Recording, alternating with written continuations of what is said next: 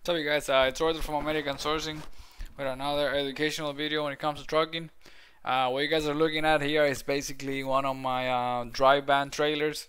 Uh, we uh, Today is 8.15 so we drop off a load today. Uh, pretty much wood. Let me show you what I mean by wood right there. so basically, you know, we're trying to see if the shipper will pay something to us because they beat up the trailer inside, which it's something that it tends to happen, you know. But uh, let me see what I'm talking about. You see what I mean? The the the metal panels were pulled out.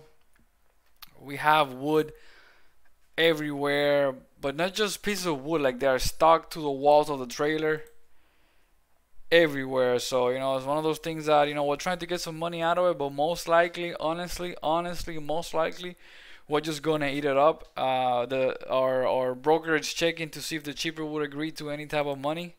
Um, but you know, uh, fingers crossed. But I, am not, you know, I'm, I do not see it going anywhere.